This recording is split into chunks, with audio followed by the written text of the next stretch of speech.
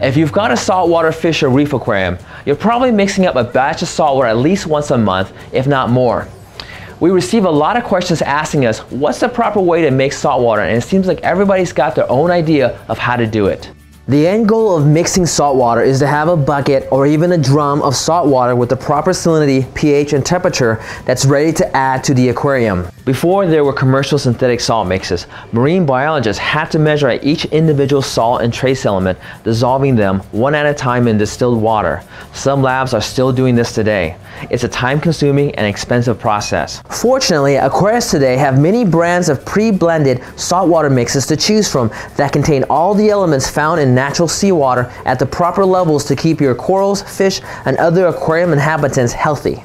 I don't think there's a best way to mix salt because it's just not that complicated. Add the right amount of salt into RODI water and mix it. There are, however, a few tips that can save time and make mixing batches of salt water go smoothly. Tip 1. Estimate how much salt water you're going to need to complete the job. Knowing how much salt water you need to make determines every step in the process and here's why.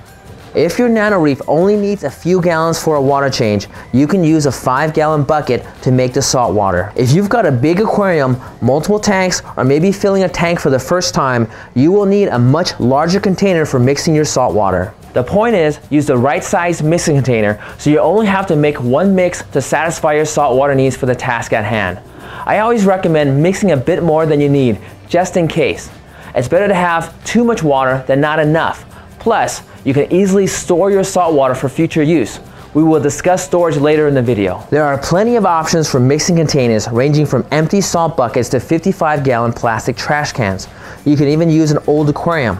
Just be sure the container will not leach any harmful chemicals into the water and, of course, hold water and is leak free. Building a permanent saltwater mixing station is an excellent idea for those of us with a heavy demand for saltwater at home. The station typically will have two containers, one for fresh RODI water and the other is used for mixing salt water. Here at Marine Depot, we've built a dedicated saltwater mixing station and we have an awesome video about that project in the video description below. Be sure to check it out. Tip 2. Only use RODI water. Marine salt mixes are formulated to closely match natural seawater. On paper, the water used to dissolve the salts should contain nothing but pure H2O.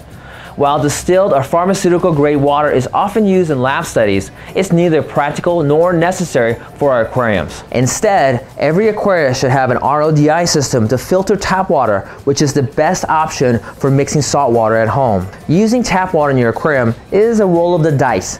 Although it can meet governmental standards for drinking, most of the time it's not acceptable for use in your aquarium. Your water supply may contain heavy metals, phosphates, nitrates, and various other substances you don't want to add to your aquarium. A high quality RODI system will strip out these harmful substances and ensure that your salt water isn't going to trigger an algae bloom or degrade your tank's water quality. Furthermore, you need to use RODI water to top off as well. This is all the more reason you should have your own RODI system at home. Tip 3. Adding salt mix to the water correctly. After getting your container filled with RODI water, you will next want to follow the directions that are on the salt package to estimate how much dry salt mix you will need. Be careful, some salts give you the amount to measure in weight form such as grams, which is terrible for most of us. Find one that gives you the amount in volume instead of weight. None of us want to measure the salt on a scale. Measure out just a little less than what the package recommends for your mixed amount of water. It's always easier to add more salt if you need it. This will ensure the parameters are exactly as you intended. Adding too much salt or adding it too fast can cause precipitation to occur, which will alter the chemical makeup of the salt water.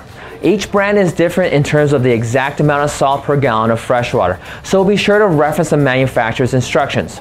Never mix different brands of salt either. This will not result in a properly balanced seawater that is safe for your aquarium. Whether you're adding salt to a bucket or a 55 gallon drum, it's a good idea to use a circulation pump to agitate the water.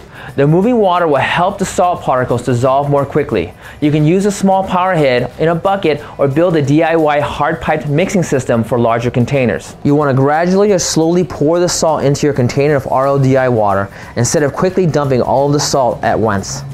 A pile of undissolved salt is super concentrated and can precipitate insoluble calcium and magnesium carbonates, which will then alter the chemistry of the final saltwater mixture. Tip 4. Measuring the salinity, pH, and temperature.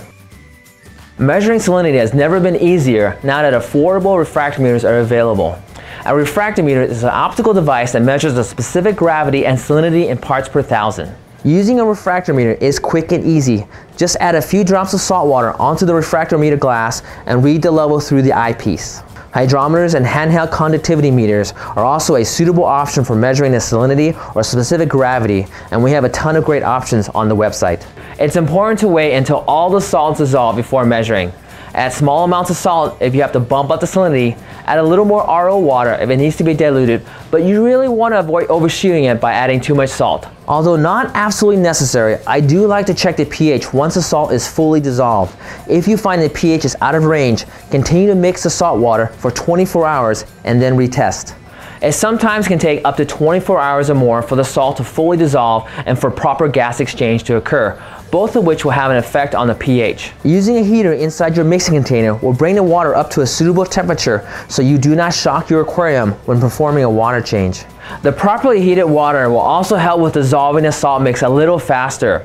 I tend to double check the temperature just before I'm ready to perform a water change with an accurate thermometer. A very slight cloudiness is typical even after 24 hours of mixing, but you shouldn't see any particles or substantial color tint of any kind when the salt is properly mixed and ready for use. Tip 5. Storing salt water. It can be done.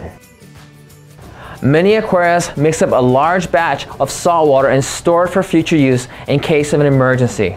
For some, this can be a 5 gallon bucket for others, it could be over 100 gallons. Salt water won't go bad.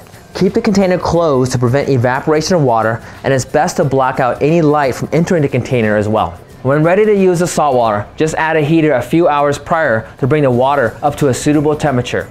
As mentioned earlier, a mixing station is a great idea for those of you with heavy demand for salt water. Be sure to check out our video on the subject, but a ton of ideas can also be found online. It really helps to have all your gear in one place and ready to use. Over time, you'll get to know your brand of salt, how much to add, how long it'll take to mix it, and the final pH level. It's kind of like a step-by-step -step recipe that you follow every time. Once you have the right tools and develop your routine, the process will go a lot quicker and you won't have the frustration of making a lot of adjustments to get the salinity right. Well, thank you for watching the video today. We hope you enjoyed it. If you did, please click the like button and also subscribe to our channel as we have a ton of videos on how to keep a saltwater aquarium. Until next time, take care and happy reef keeping.